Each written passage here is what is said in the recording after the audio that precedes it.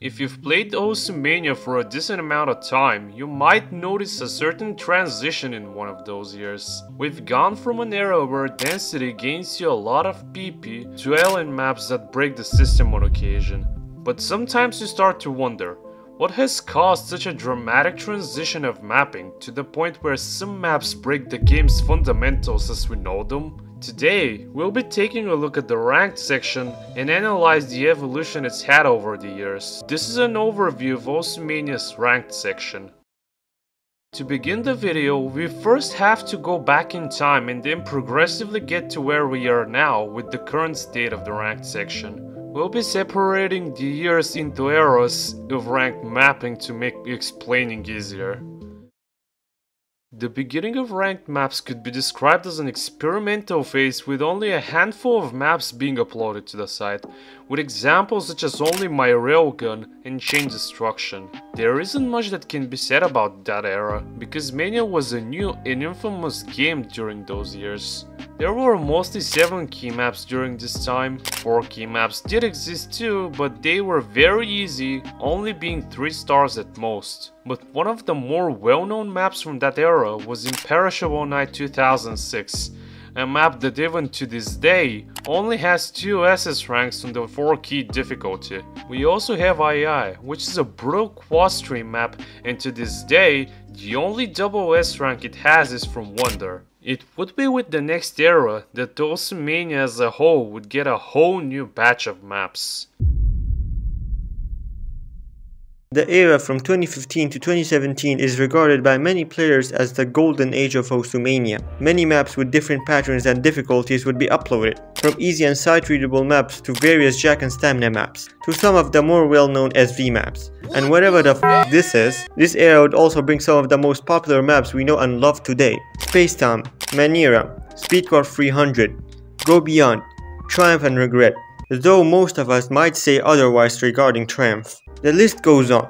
This era shows a lot of diversity in mapping, and shows that people experimented with different patterns for the maps they made. And this would carry on with the new era, although with some slight changes. That quality of the ranking section would carry on throughout 2018 and 2019 with some of the maps posted being Black Lotus, Mazare Party and Dotabata Animation, which to be completely honest with you, I've tried to gain PP off of at several points in time. The maps that were posted during that time could be argued to be similar in quality to the ones in previous years, and it shows when you start playing them. Surprisingly, with the coming of the new decade, that quality would take a different turn as the years passed. With the coming of 2020, Osu!Mania would experience a severe drought of difficult maps, with mostly easier maps being uploaded. There were some sporadic exceptions like Machine Gun Style, Reviver, Welcome, yes, that's the name of the map, Wool Parts, and some 7 key maps like we want to run ranked during that year. What is surprising about these easy maps is that modding them is very easy, with some of them being ranked within weeks. That in turn created an extremely noticeable lack of difficult maps that many players voiced their concerns over. That lack of difficult maps would be satiated around 2022 to 2023, but in a way that literally nobody imagined would happen. This is Eternal White. The map consists of various LN patterns throughout the map, and it would become amongst the first maps to pioneer the era of LN mapping. What some players likely didn't realize at the time was that this map and many others like it would abuse the current PP system, rewarding far too much PP than they were intended to.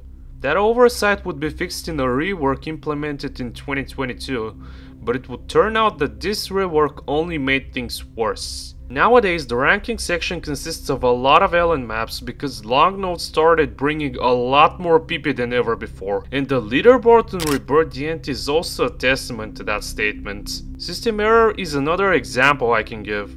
Multiple 7 key players got their highest PP scores because of that map. The problem with 7 key maps however is that because of the star rating, anyone can play half-time and receive upwards of a thousand PP in the process. Those two examples alone are enough proof of the shift in meta. I personally hate leaving videos on a sour note, so I think it's gonna be best to discuss the topic of the ranking section with some top players. I've personally contacted two very skilled top players from 7K and 4K respectively to get their opinion on the topic and this is what they had to say. For 7K, I decided to ask my country's number 1, Dinnerman. When asked about the state of 7 key maps, he at first replied that they're total bullshit with the Pepe laugh emoji. okay, enough bullshit. He responded by saying that some of the maps that are currently uploaded are way too inflated and do not require much skill to be played. When I asked him what could be done to alleviate the problem, he responded that nominators should be having a better judgment when ranking maps, and that the way those maps break the system shouldn't force peppy to do another rework to fix that specific problem. For 4Key, we decided to ask Hi-Hi, as he has records on many of the charts currently uploaded. He said that there is not much variety in the difficult maps given how many LN slash hybrid maps are being pushed out in order to raise the star rating higher. He also knows that there has been a lack of normal speed maps in recent times. When asked about how to alleviate the problem, he suggested that overall rise should be nerfed and that the star rate should be buffed in a way to not favor Vibro as much.